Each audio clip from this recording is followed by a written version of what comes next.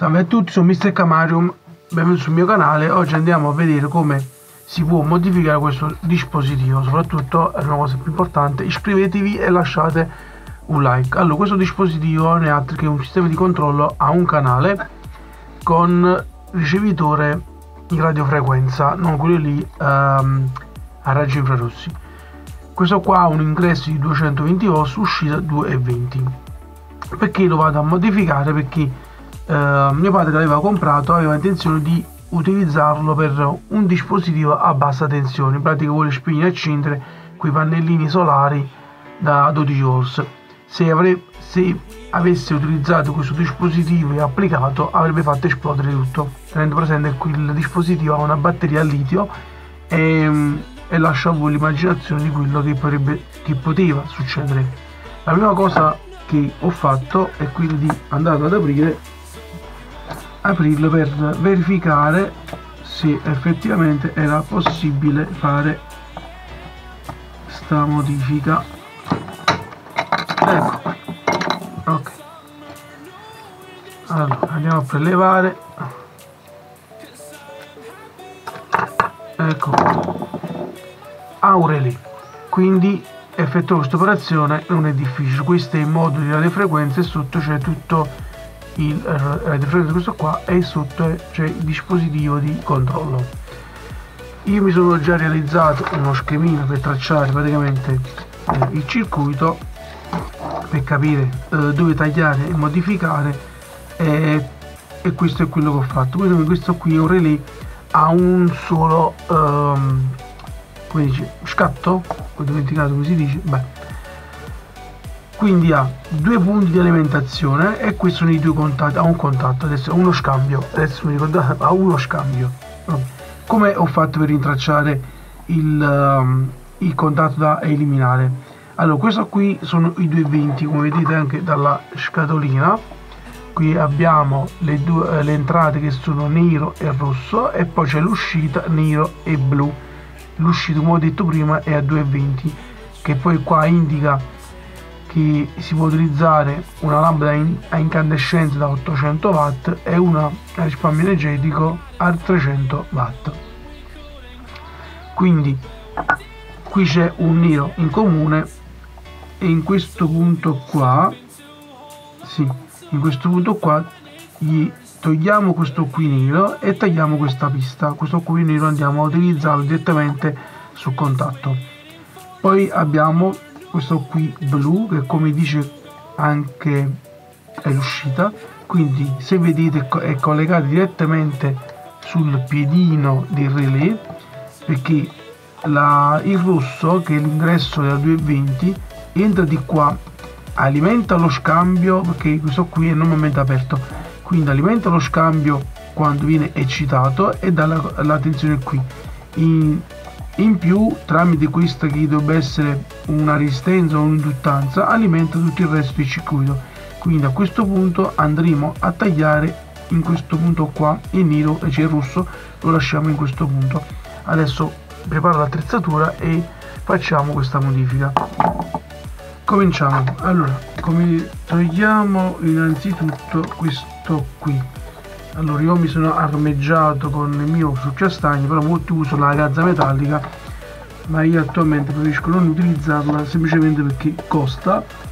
E visto che non lo faccio per lavoro ma solo per hobby sarebbe uno spreco perché non mi rientrano i soldi. Ecco qui. Questo torto. Poi visto che qua dobbiamo tagliare eliminiamo un po' di stagno da questa superficie. Questo stagno è stato aggiunto perché visto che qua ci passa una bella quantità di potenza hanno pensato di aumentarne la capacità per gli ampere aggiungendo dello stagno però questo a me in fase di taglio potrebbe darmi fastidio.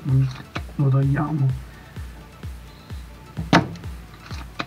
A posto. E facciamo la stessa cosa anche di qua il fatto si raffredda facilmente è dovuto probabilmente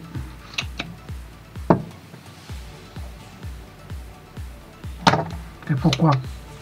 Sto pulendo ma alla fine non è che mi serve tanto. Ok. Allora questo qui andiamo ad applicarlo qua. Perché qua sta lo scatto praticamente io manderò il segnato da qui a qui e tagliando questo punto qui.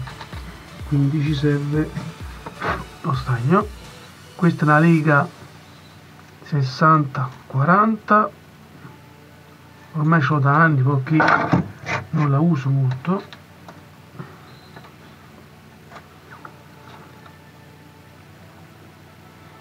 E andiamo a impastare con il miglio. Ci mettiamo qui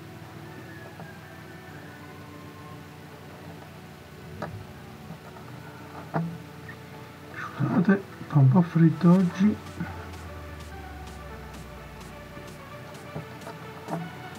Riesco a puntarlo. Bene qui. Ecco.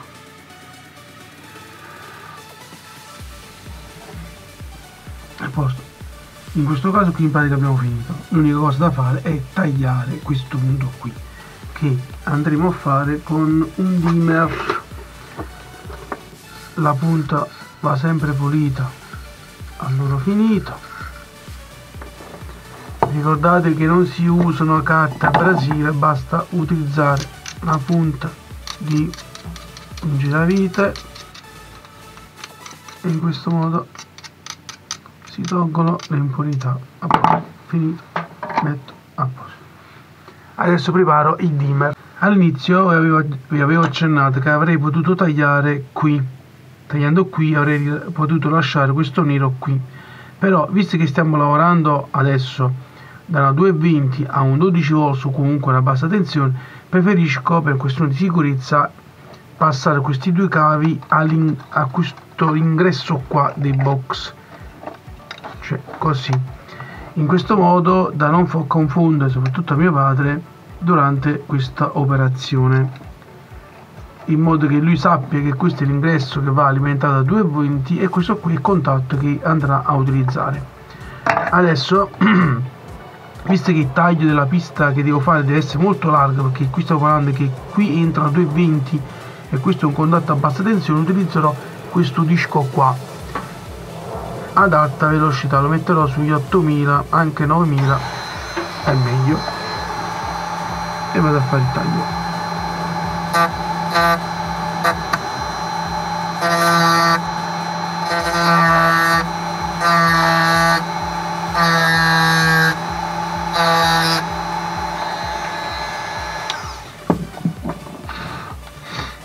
ecco qui taglio perfetto. Se andavo un po' troppo oltre tagliavo sotto ok. Va bene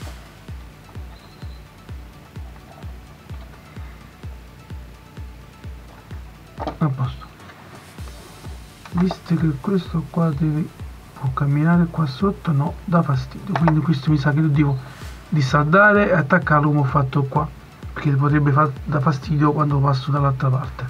Tanto qua mi sembra che lo spazio ci sia in chiusura. No non c'è lo spazio quindi lo devo lasciare lì. Ah no no posso fare anche direttamente così. Va bene ce la fa.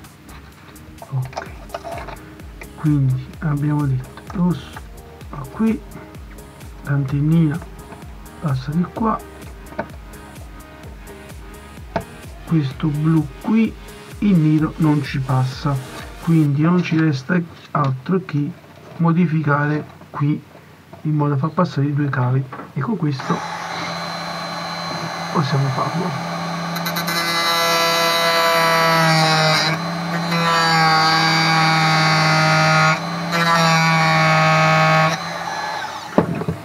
vediamo se passano tutti e due. Ok. Perfetto.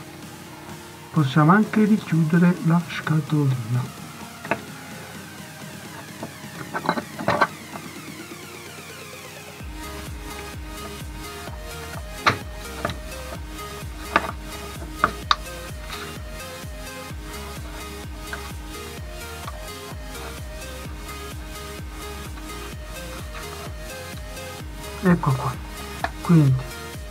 vedo se riesco ad attrezzare il banco per fare un collaudo una prova. Vediamo. Purtroppo non posso effettuare la verifica a banco perché per questioni economiche non ho l'attrezzatura adatta. Ho queste boccole qua enormi ma non ho eh, la possibilità di mettere direttamente 220 qua e stare in sicurezza. Quindi l'unica cosa che andrò a effettuare è una prova di continuità per verificare che i contatti in questione siano effettivamente isolati dalla 220 allora mettiamo in modalità diodo con indicatore sonoro. Faccio sempre la verifica prima. A volte questo, questo tester dà un po' i numeri. Verifichiamo prima così e così. Ok non c'è contatto perché il circuito è chiuso. Verifichiamo adesso con questo e questo c'è contatto questo e questo qui quindi è isolato non c'è la 220 in comune perché questi qua sono collegati direttamente con il relay la prova l'andremo a fare direttamente sull'impianto quindi adesso sto qua lo riporto a mio padre e lui lo proverà sull'impianto e vedremo come eh, finisce, come va a finire. Nel frattempo rinnovo vi invito di lasciare un like e iscrivervi al canale. Buona giornata a tutti.